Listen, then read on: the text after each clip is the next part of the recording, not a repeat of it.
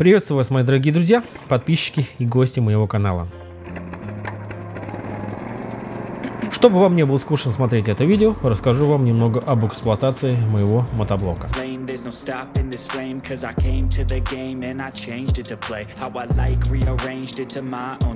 Мотоблок Агат купили мы в январе 2018 года. Хотя изначально собирались покупать мотоблок Салют. Перед покупкой позвонил я в магазин мототехники в Нижнем Новгороде и спросил, есть ли у них в наличии мотоблок Салют. Именно с американским двигателем. На тот момент Салют стоил 45 тысяч рублей. Но продавец меня отговорил и сказал, давай мы лучше тебе привезем Агат. Но стоимость его будет 24 500 рублей. Я сначала насторожился, почему почему именно продавец мне рекомендует покупать мотоблок гораздо дешевле того, который я изначально хотел купить. Думал я недолго, примерно около часа. Принял решение, позвонил в магазин и заказал мотоблок Агат. Сейчас могу уже сказать, что в тот момент я принял верное решение. Этот мотоблок может выполнить практически всю садово-огородную работу.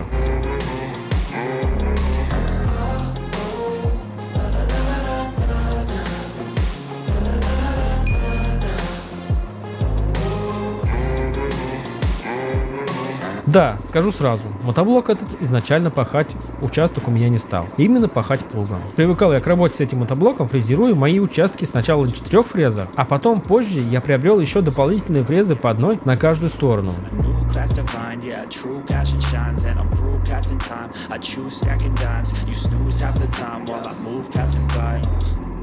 I work hard each and every day I get lost in the words I say для фрезеровки почвы это идеальный мотоблок, так как двигатель вынесен вперед, а при этом условии мотоблок ведет себя устойчиво и уверенно. Только надо следить, чтобы при сборке фрезы были собраны правильно.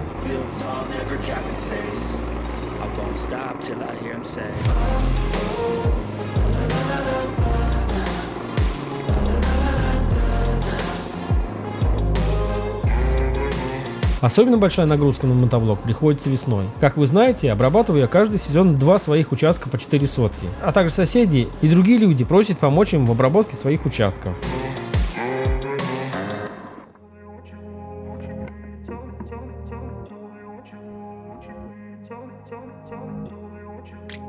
Мой мотоблок не был бы полноценным мотоблоком, если бы я не сделал к нему прицеп. Прицеп я начал делать сразу после покупки мотоблока. Себестоимость прицепа на весну 2018 года составила 4,5 тысячи рублей. Это себестоимость изготовления этого прицепа. Хотя в магазине стоимость его была около 15 тысяч рублей. Самая максимальная масса, которую я перевозил на этом прицепе, ориентировочная, около 400 килограмм. И с этого момента началась моя постепенная модернизация мотоблока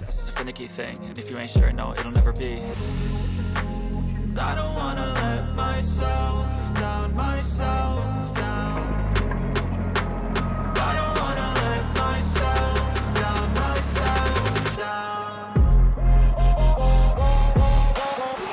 Чтобы мотоблок начал нормально пахать плугом, нужно было его поставить на нормальные колеса и утяжелить. То есть поставить на хороший ход. Что я и сделал.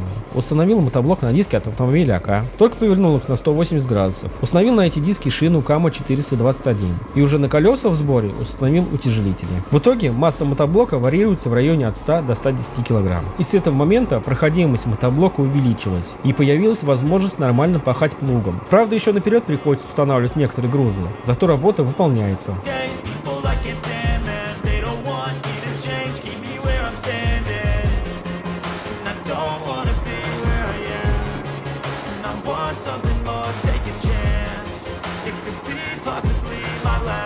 Так как проходимость мотоблока повысилась, то очень мне нравятся покатушки по пересеченке, а именно по грязи. Очень люблю ездить спокойно по лесной местности.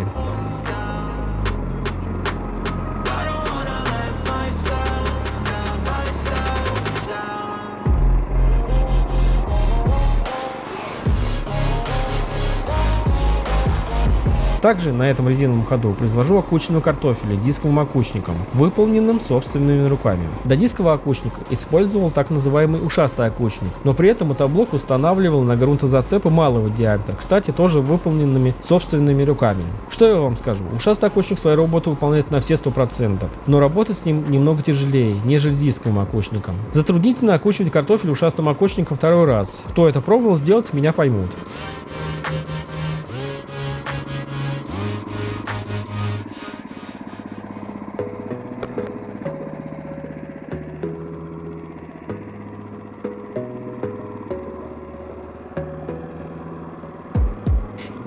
Focus on yourself, on your faith, on your dreams, on your mind, on your health, yeah You gotta work, never tell, keep your head down, find what you love and excel, yeah Выкапываю картофель с помощью самодельного выкапывателя на основе лапы культиватора 270 мм. В дальнейшем хочу немного модернизировать этот выкапыватель, так как центральная стойка выкапывателя при работе собирает на себя много ботвы и другой травянистой растительности.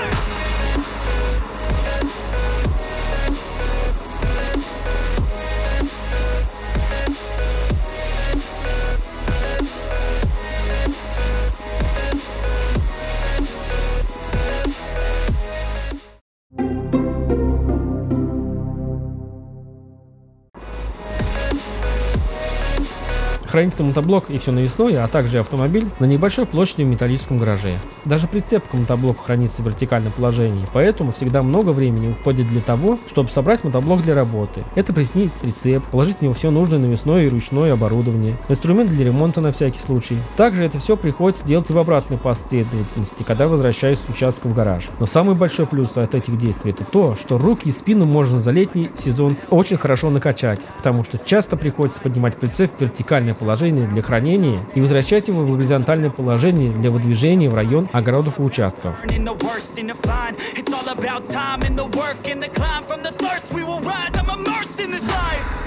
Don't let somebody take your time and your worth, just focus on yourself first. Don't let somebody take your time and your worth, just focus on yourself first. Don't let somebody take your time and your worth,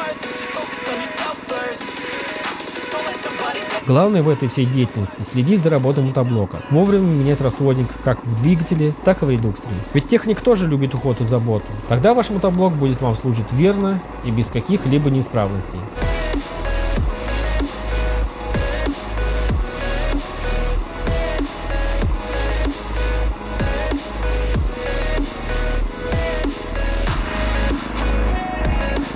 На этом все, друзья. Как всегда, если кому видео понравилось, то ставим палец вверх, пишем комментарий. И если кто еще не подписан на канал, то подписываемся. Также на канале есть ссылка в инстаграм. Там можно пообщаться, как говорится, онлайн.